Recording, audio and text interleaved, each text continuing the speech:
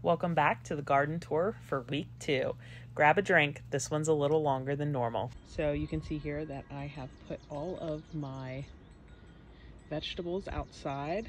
I still have another month until our last frost date, but it has been gorgeous here, so I'm trying to acclimate them. And a whole bunch of snapdragons.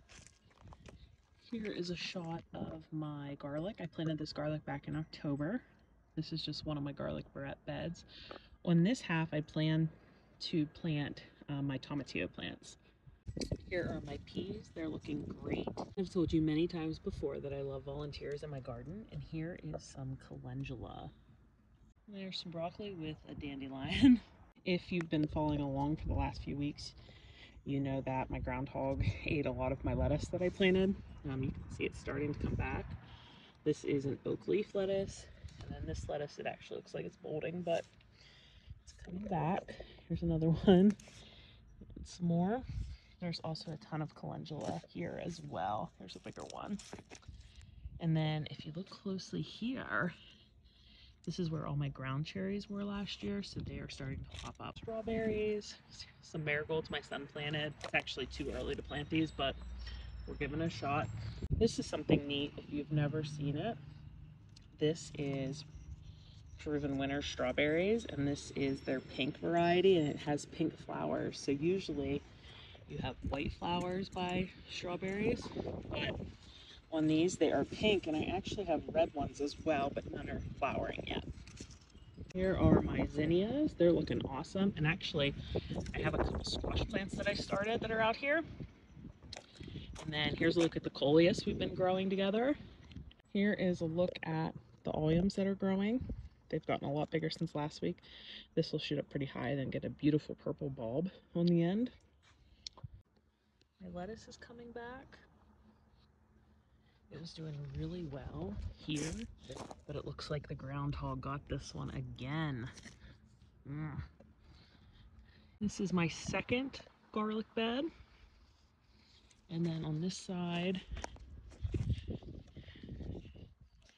I have leeks. If you look right here, here's a volunteer um, sunflower. It's probably not going to do anything because we're dropping back down into the 30s this week. So that would probably die, but pretty cool. In here is a new strawberry tower that my son planted this week. Here is a beautiful calendula plant that's growing. And then we have my lettuce, which is doing awesome. So this lettuce is in an enclosure. So it does better. Look at this. I think this is Marvel of Four Seasons. Oh, yeah. Marvel of Four Seasons there. It looks awesome. And this is doing great too. It all looks so good. So on the Romanesco, it's looking awesome. It's gotten really big. Look on the side. And if you from, remember from last week, pretty much all the leaves looked like this. So this is a lot of new growth. This is awesome. Alyssum. This red vein sorrel continues to look amazing. I'll be honest, I don't eat it. it's just for beauty.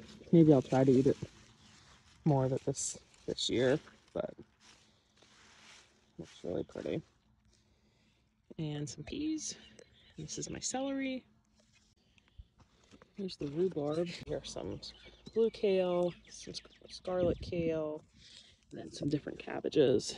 Dino kale here. Over here we have some more dill coming up. Another calendula and a beautiful cimarron lettuce. And some chives.